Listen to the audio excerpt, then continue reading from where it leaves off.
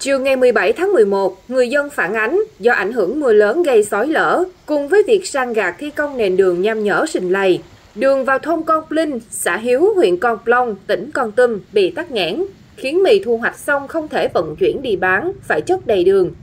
Theo đó, đoạn đường này đang được đầu tư xây dựng thuộc dự án công trình đường từ trung tâm xã Hiếu đi thôn Con Plinh, do Ban Quản lý Dự án Đầu tư xây dựng huyện Con Plong, gọi tắt là Ban Quản lý Dự án, thuộc Ủy ban Nhân dân huyện Con Plong làm chủ đầu tư, vốn 23 tỷ đồng.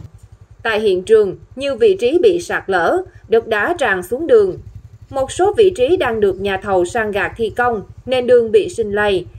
Phần cầu trang cũng bị ngập, phải đi cầu treo, xe ô tô không thể di chuyển. Hai bên đường, mì của người dân thu hoạch xong đã được tập kết, nhưng có nhiều bao đã bị thối rữa.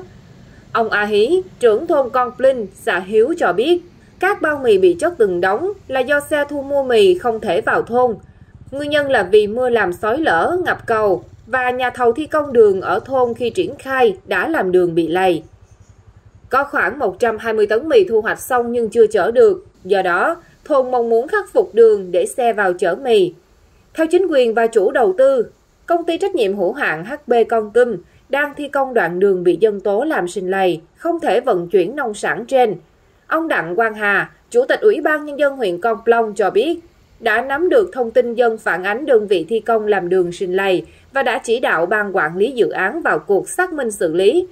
Ông Trương Văn Minh, Giám đốc ban quản lý dự án cho biết, đã cho cán bộ xuống kiểm tra. Nếu sự việc đúng như người dân phản ánh, thì sẽ đề nghị đơn vị thi công đổ đá học để gia cố, đảm bảo lưu thông hàng hóa.